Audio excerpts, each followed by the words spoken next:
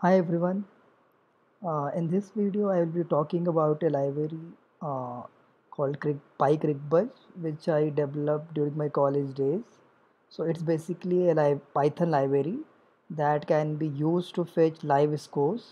Uh, so this basically uh, uses the API provided by the Cricbuzz to fetch scores, commentary, as well as scorecards. So let's uh, see what uh, library exactly does. So like it provides you with the live score of the match. So I have already written a blog post uh, regarding the how to use the library and what does it provides. So you can just uh, go to uh, my website and you can just check.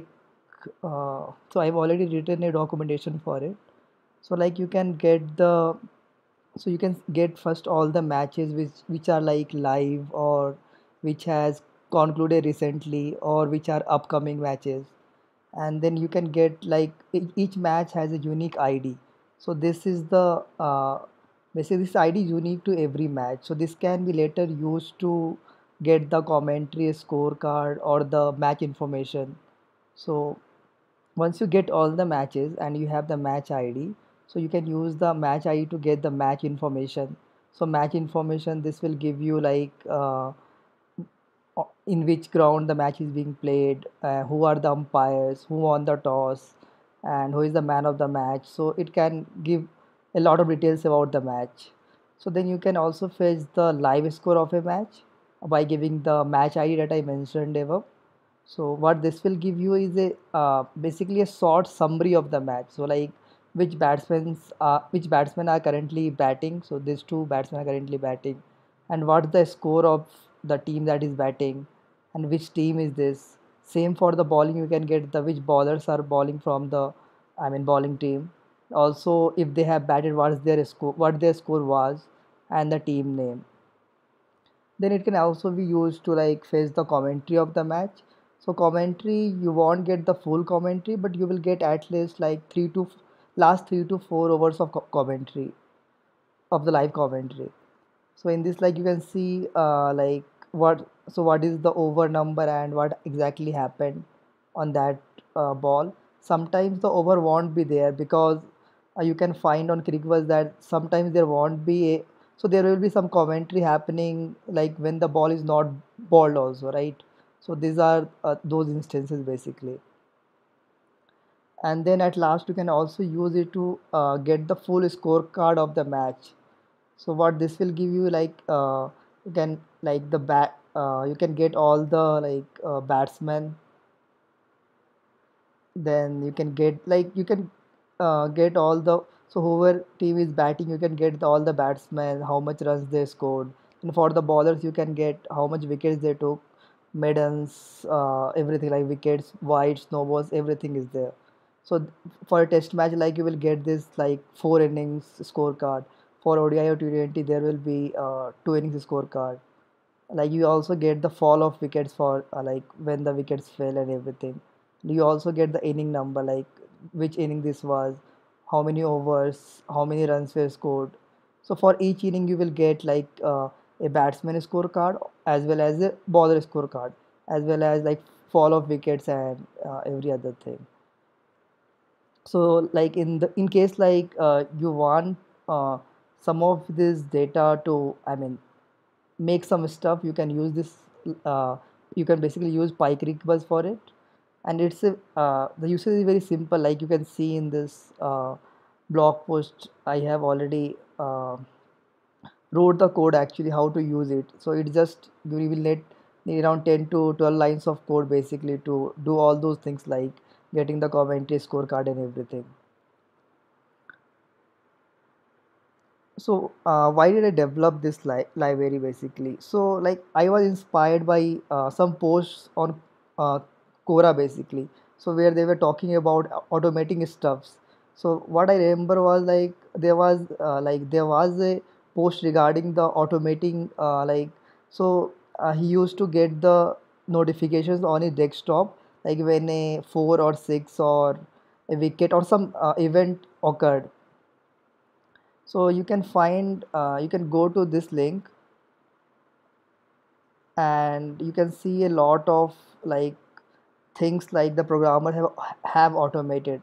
So i think in this you will find my answer also like uh, the same thing i mentioned like getting the uh, notifications on the desktop when some event happens in the match. So like uh, before like i wrote uh, like all the functions uh, which are a part of PyCricbuzz in the app which i was developing for desktop notifications. Later i separated them and uh, made a separate code base for it and then i open sourced it on git. And i thought that this initially didn't think that uh, a lot of people it will be helpful to a lot of peop people but later uh, like it i have it that so the uh, the code base has around 30 plus stars now and i think it has helped a lot of people in developing stuffs and all. So what is the purpose of making this video? So so you see that i have already written a blog post uh, here describing like how to use it and, uh, in your code. So i i uh, so i am uh, basically making this video to let everyone understand how the basically the code works actually. So that i mean they can also i mean make some awesome stuffs using the like the logic which i have used like the Cricbuzz api endpoint that i have used. So there are a lot of more information on the endpoint from the Cricbuzz side which i have not used in this code. So one can use those things to uh, do some amazing stuffs also.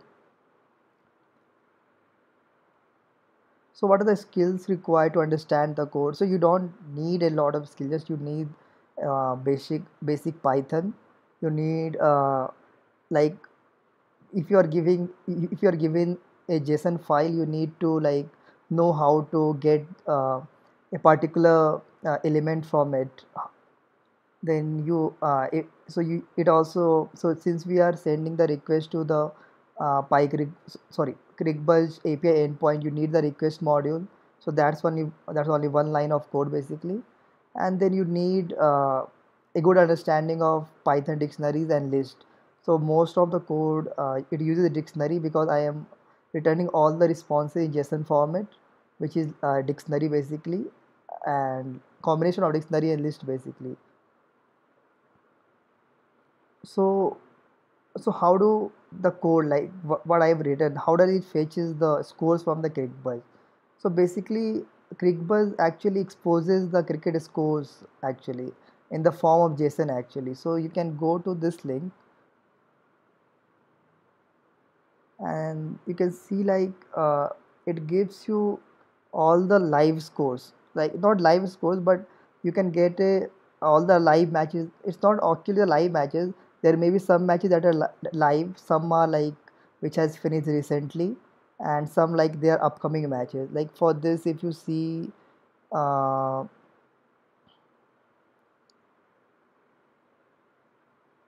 Okay, so this already this, has finished already, right?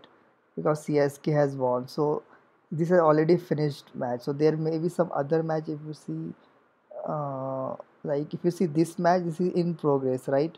This has not finished, this is in progress. So some other like if you see, so this is uh, affected by the rain. And this is already finished.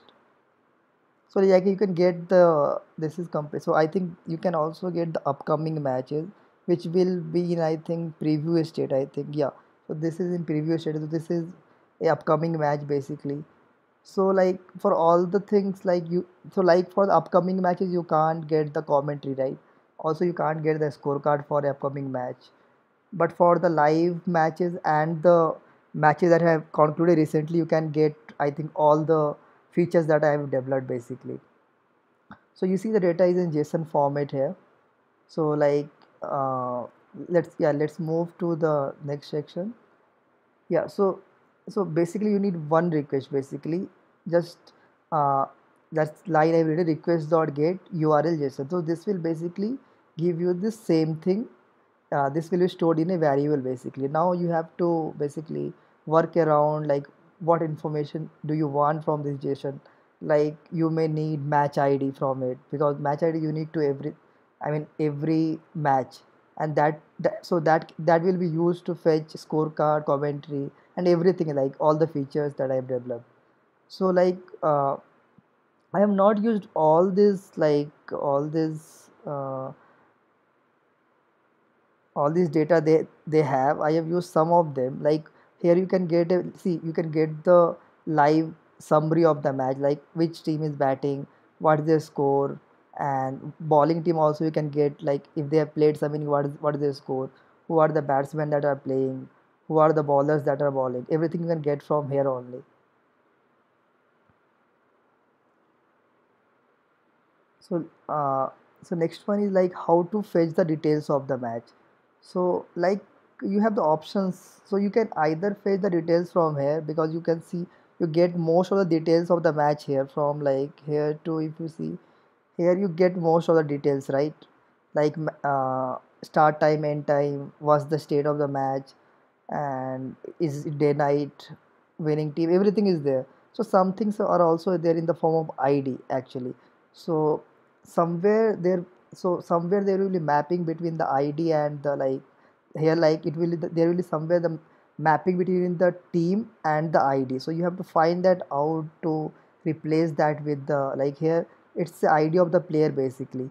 So you need to uh, i think dig out uh, you have to go down uh, no you won't get it here i think.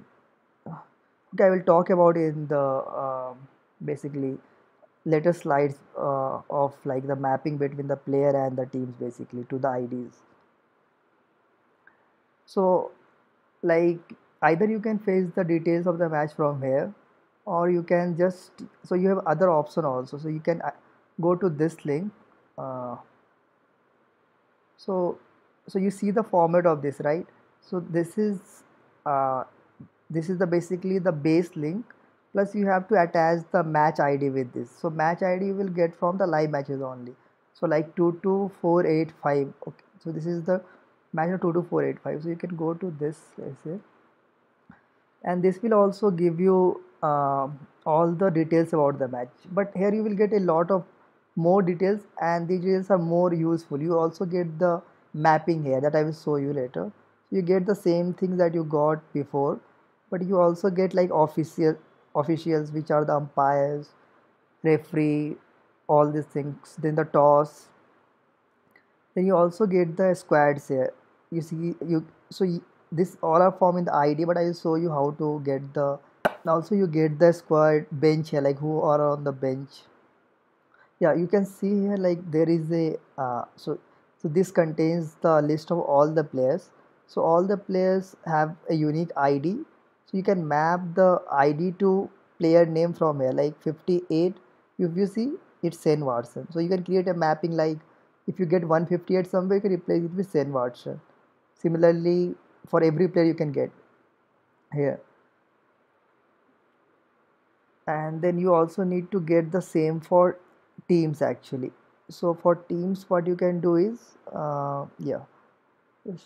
Teams will also be here. Yeah so you see uh, team 1 right? Its id is 58 and team name is csk or chennai super king. So you can store this also somewhere and then later you can use it to replace id with the team name because id won't be useful for you any uh, anytime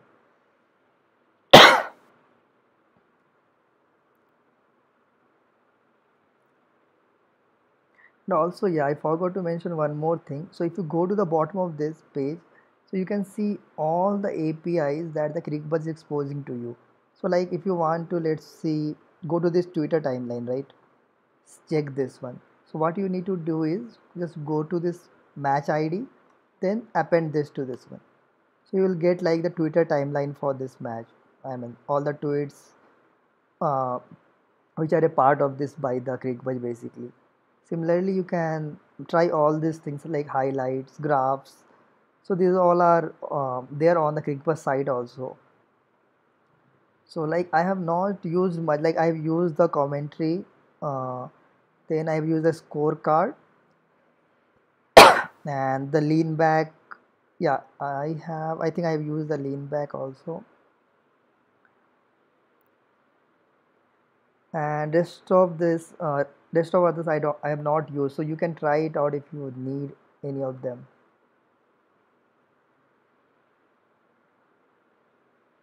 So yeah so live score that i have already means i mean told you like you can get from the live matches only.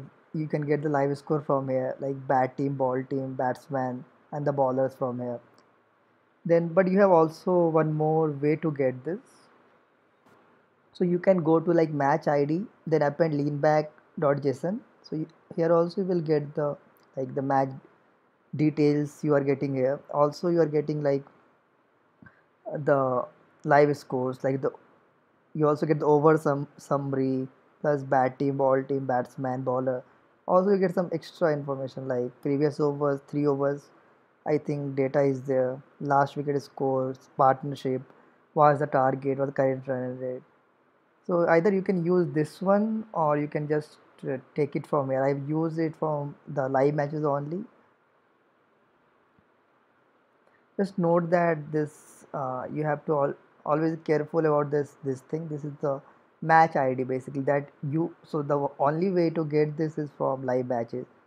So here you will get the match ids for all the matches that you have to use to i mean go to commentary or any hit any other endpoint basically how do you face the commentary? So i already told that there are a list of api so you can go to match id plus commentary. This will face the so this also gives you again the same thing. It gives you uh, match details plus like the live score plus it gives the commentary also. So like uh, you can also use i mean this single endpoint to get like three information basically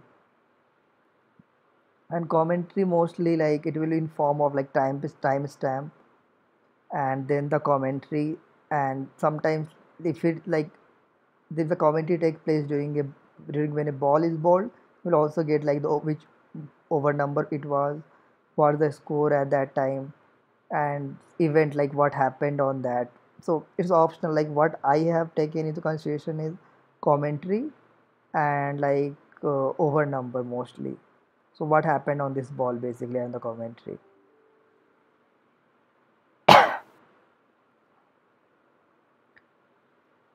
Yeah. And last thing is like how to get the full scorecard. So again you can just go to scorecard match id scorecard. So here you see like you will get all the innings that were played. So this this basically will be an array of dictionaries basically. So like if you see the one uh, this is the second inning.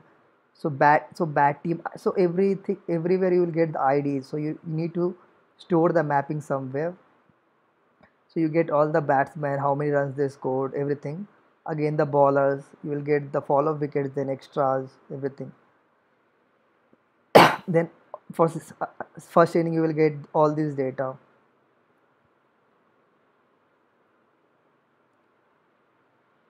so this mapping id i've already mentioned from where to get it.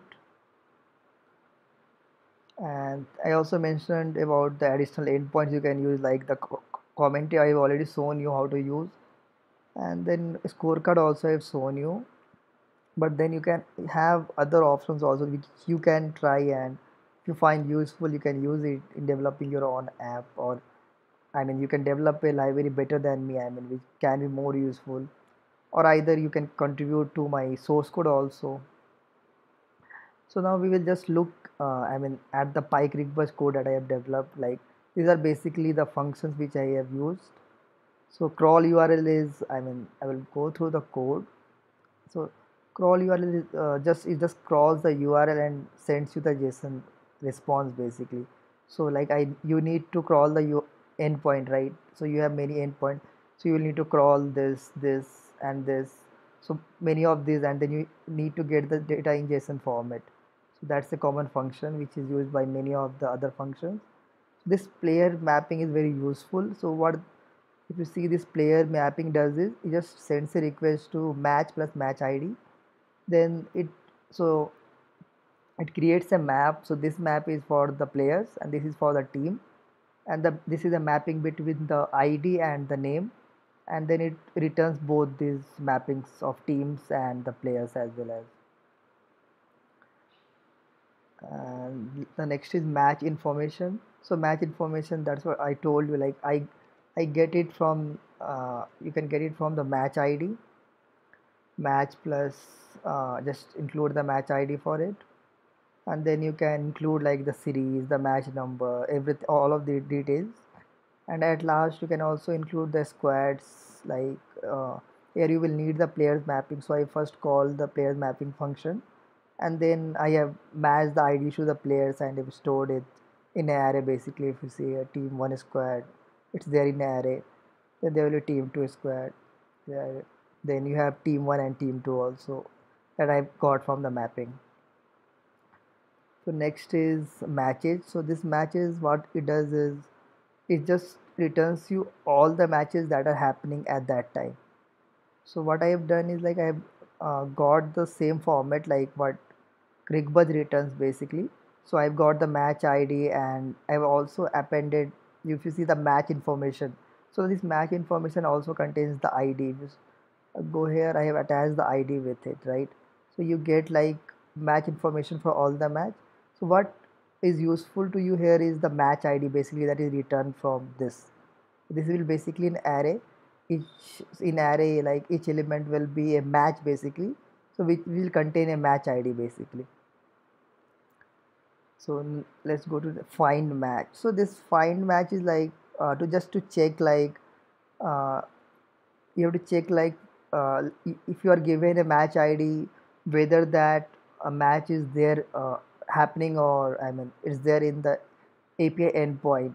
If it is there, it then returns the match from it like uh, so the same information like the match basically it basically returns the match information for it. And next is the live score that this is like the a summary of the match like which batsmen and bowlers are playing what was the team score that batted and what is the score of the team that is batting everything. So if you see here i've used a lot of like dictionary and list like so i have i have to convert everything into the json format basically. So i have used a lot of uh, list and dictionary. So if you go through the code it will be uh, self-explanatory i mean it's not uh, very hard to figure out the code basically. So like i'm creating dictionary for everything. You see team is a i mean key for this dictionary. Score is another key. Batsman. Then you will have bowlers. Then you will have like score for all, both the teams. Then I return, return the I mean the data. So this data is basically the dictionary which contain which can contain list a combination of list and dictionary and dictionary and, and all these combinations I mean. So next you have commentary. This is I mean one of the e easiest code I mean you just go to the commentary and I mean, you just check if like if commentary is there in C because I'm not um, returning all those com commentary like where at sometimes like there will be this won't be there and some other details will be there. I'm not returning them. I'm returning only when commentary is present. Next is scorecard. This one is the I mean I think the biggest function I think yeah because this contains a lot of data and you have to convert it into like dictionary and the list I mean so it's a big code but I think the scorecard code as, as well as the live score code uh, are almost similar I mean in nature. Like you have to iterate over like if you see here you, you have to iterate over the uh, batsmen you have to find all the batsmen and then append them to a dictionary. Then you have to get all the innings batting innings bowling innings. Same for the batsmen and the bowlers. So these four things so this um, this contains the list four lists basically. One is the batsman one is the bowlers one is the batting innings one is the bowling innings. Similarly in the scorecard if you see uh, you need to get all, for all the for each of the innings you need to get all the batsmen. So this will be another list of batsmen. Then you also need to get the bowlers uh, like you get the batsmen. And I've also included one extra feature is the fall of wickets so again you have to iterate uh, over fall of wickets and uh, so you need the mapping here because it's given the id so so this will contain it so you will this will contain basically three lists. One for batsman one for bowler one for fall of wickets. And this will be uh, basically list of list right? Because you will again have this is for inning in inning. So you will have many innings right? For each inning this will be applicable so i think you understood the code from here. And how to use it like if you see I have already written the blog blog post on how to use it. And I have explained here like the full code. I mean now I have also given the examples what will be the output of this. So like uh, sometimes you won't need all the information. So what you can do is like just uh, go through the code right? I mean execute the code from your side store it store the output in a file then check which all things you need i mean like sometimes if you don't need the umpires you can just i mean you don't need to worry about the official key you can just don't, don't need to use that. So if you see like uh, so basic the first line i mean you're just calling the class so this will be common. Then just like what now what feature do you want to use? Do you want to use matches? So do you want to use match information? So do you want to use live score? So that's one line of code for everything i mean and you will get it in json in the json format. And json i believe is one of the easiest data form i mean data format to to use. So it won't be hard to write the code here and understand this code basically but in case like if you have any doubts or you are getting any errors uh, while executing the code you can comment on this blog post or like on this video itself. So like this is like uh, just I'm uh, I wanted to ask uh, everybody like what tools you have made to like automate day-to-day -day stuffs so like I will give you some examples where like my code so a lot of users have told me like how my code was useful for them. So one one of the example recent example was that uh, like in the IPL match if you see uh, Swiggy gives you a dis- uh, flat 75 rupee discount for every six that is hit right? I think it's applicable once and once one I once for each IPL match so like he uh, he wrote a code basically using my library uh, to get the notification like when a six is hit. Another like uh, another one is like uh, a user uh, also use the library to develop a fantasy website. So uh, the challenge that i think you will face in the fantasy website is like you don't get the, get the details of the players here right? You don't get like so how do you uh, give ratings to each player right? It's difficult right?